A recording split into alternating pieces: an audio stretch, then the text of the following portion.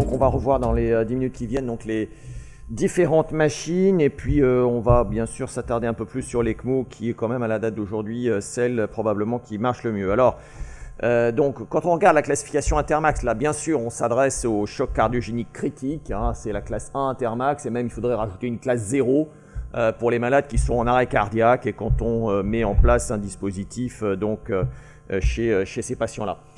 Alors les machines à disposition, euh, donc je vais rapidement vous parler du Tandem Art, on n'a pas beaucoup de données et puis surtout il n'est pas disponible pour l'instant euh, en France. Euh, on parlera un peu plus de l'Impella et puis encore un peu plus de l'ECMO et clairement les grosses machines, le HeartMed 3, le cœur artificiel total sont clairement pas pour la phase hyper aiguë compte tenu bon, premièrement du coût de ces dispositifs et puis la nécessité d'une chirurgie qui est quand même relativement importante. Et euh, l'autre souci, c'est qu'à la date d'aujourd'hui, on n'a pas non plus d'études euh, scientifiquement valides avec un haut niveau de preuve, euh, donc permettant d'indiquer quel type de machine pour quel patient.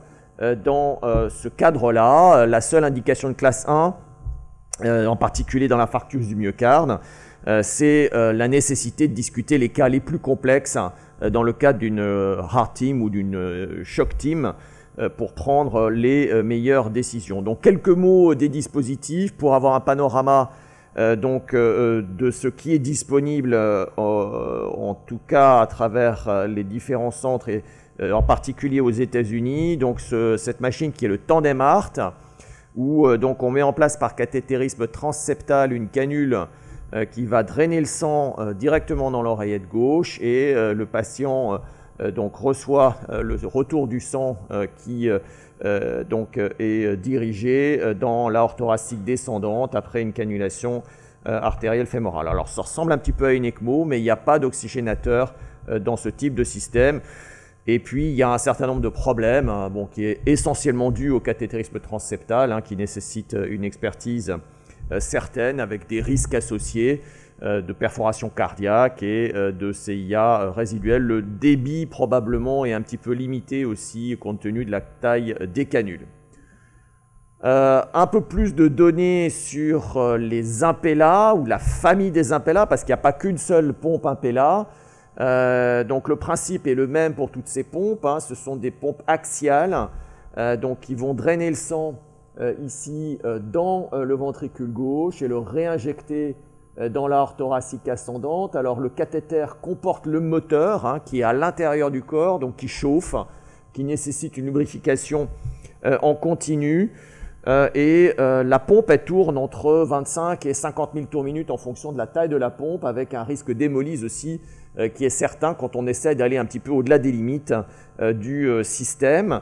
Alors les pompes, euh, il euh, donc ça a commencé il y a quelques années avec la 2.5, puis après il y a eu la grosse impella qui nécessite une insertion euh, chirurgicale par à bord de l'artère sous-clavière ou axillaire, la CP qui donne un peu plus de débit que la 2.5 mais qui peut être insérée par voie percutanée, et puis il y a de manière un petit peu plus anecdotique la RP qui est une assistance droite euh, en fait, euh, selon le même principe. Et puis, comme vous le voyez ici, l'autre souci majeur des impellas, c'est le coût. Hein. c'est entre 10 et 15 000 euros euh, pour des cathéters dont la durée de vie est de quelques jours jusqu'à peut-être deux semaines pour la plus grosse, la 5.0. Alors, pas beaucoup de données. Il y a une étude en ce moment dans le choc cardiogénique de l'infarctus au Danemark et certains centres aussi en Allemagne, le comparant contre le ballon de contre-pulsion. Et puis, on a des études de registre euh, comme euh, cette étude allemande là, qui euh, donc sur un registre important, hein, près de 400 patients qui avaient reçu dans le cas d'un infarctus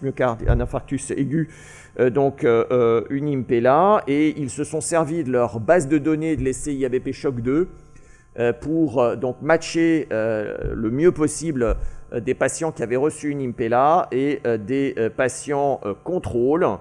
Euh, donc euh, une étude cas contrôle sur 237 cas et contrôle, et puis un sous-groupe de patients euh, dans lequel ils ont pu comparer le ballon contre l'Impella. Et donc là, c'est l'étude sur l'intégralité de la cohorte, et vous le voyez, il n'y a aucune différence en termes de mortalité. La seule différence qu'il y avait entre les deux groupes, c'est donc un, nombre de complications qui était plus important en termes de complications ischémiques, hein, de, de saignement et d'infection euh, pour les patients qui avaient reçu euh, donc le cathéter Impella. donc juste pour mentionner que l'Impella a peut-être un avenir associé à l'ECMO. Un des problèmes de l'ECMO véno-artérielle, c'est qu'elle augmente la, pression télédiastolique du ventricule gauche. Et donc ce qu'on a appelé l'ECPELA ou l'ECMELA, l'association des deux, pour diminuer donc les pressions donc, à l'intérieur du ventricule gauche et prévenir une des complications importantes de l'ECMO qui est l'œdème pulmonaire. Et un papier de la même équipe est extrêmement récent, qui a été publié il y a, quelques semaines, qui montre un avantage à cette technique combinée, euh, à donc DECMELA euh, ou DECPELA, par rapport à la mise en place d'une ECMO véno-artérielle euh, seule, ici en termes de mortalité. Et alors quand on regarde les, les sous-groupes, c'était surtout vrai pour les patients qui bénéficiaient tôt de la stratégie, donc disons dans les heures qui suivaient la mise en place de l'ECMO. Alors bon, maintenant, si on s'intéresse plus euh, spécifiquement à l'ECMO euh, véno-artériel, donc euh, une technique qu'on connaît bien ici et qu'on met en place de manière sécurisée, avec la mise en place en particulier d'une reperfusion pour prévenir les ischémies distales au niveau de la canule artérielle. Et euh, à la date d'aujourd'hui, alors là aussi on a des études, mais qui sont surtout des études de registre, euh, et euh, dans les chocs cardiogéniques les plus sévères, réfractaires, qu'on classe dans la classe E là, de la classification SKY, donc ça c'est une série donc on a publié il y a maintenant quelques années dans le choc cardiogénique de l'infarctus, encore une fois des chocs réfractaires avec une survie donc qui était proche de 50%. Euh, en termes de survie, c'était bien mieux qu'il y a une dizaine d'années ou une quinzaine d'années. On avait à peu près euh, donc moitié moins de survivants euh, donc dans le cadre du choc de l'infarctus du myocarde, peut-être avec une meilleure sélection et une amélioration des techniques et en particulier le passage à une technique strictement percutanée pour la mise en place de l'ECMO véno-artériel. Et puis l'autre bonne nouvelle, c'est que ceux qu'on arrive donc à faire survivre, les deux tiers presque les trois quarts vont pouvoir être sevrés euh, de toute assistance euh, et euh, sans avoir besoin de la transplantation. En fait, on avait une sidération myocardique qui récupère, qui permet le sevrage complet du, dispositif dans cette pathologie, encore une fois, de choc cardiogénique de l'infarctus. Et donc, ce qu'on est en train d'évaluer maintenant, c'est d'élargir les indications à des patients moins graves, en classe CDE, hein, C étant le, les critères dits classiques, hein, c'était en gros les critères de randomisation euh, dans euh, l'étude IABP Choc 2. Euh, Culprit était à peu près pareil, sauf qu'on s'adressait à des pathologies tritronculaires.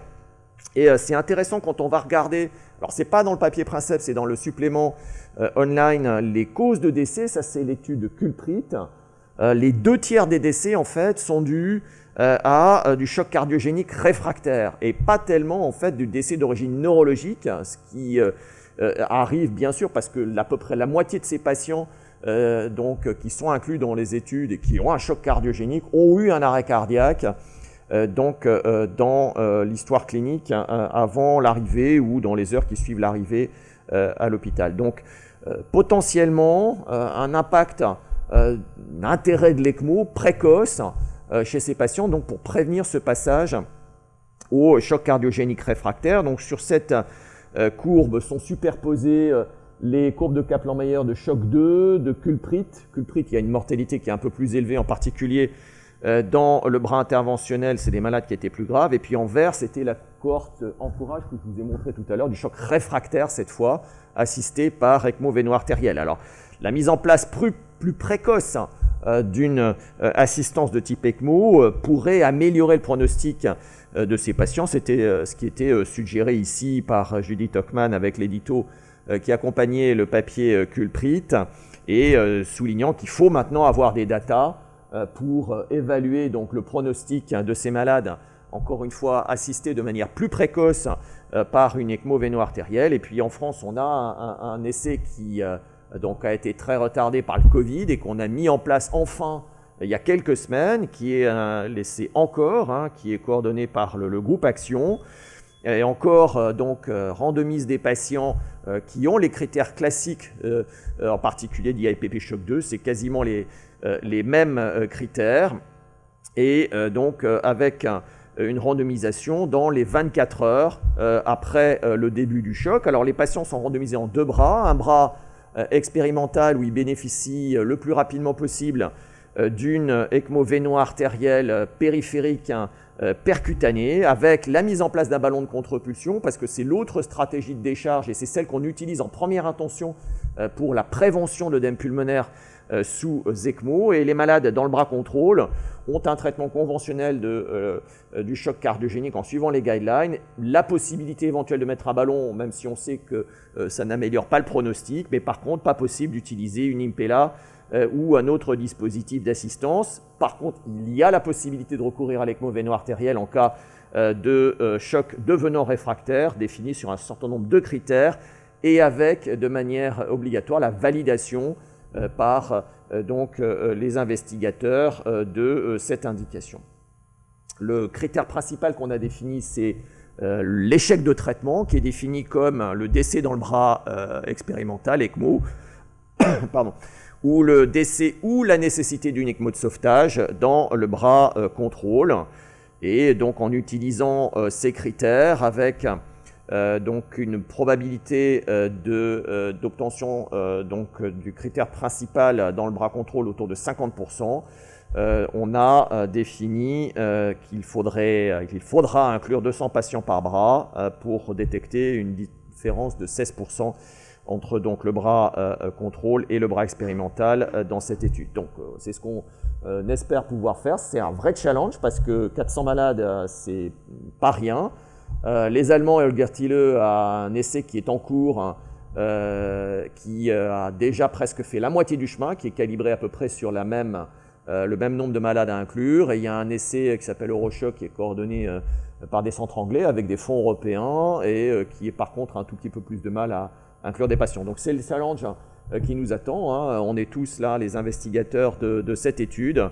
Et ma dernière diapo, bah, c'est une invitation à notre événement aussi commun là, du, euh, du centre, euh, donc sur toutes ces techniques d'assistance au mois de juin prochain. Je vous remercie.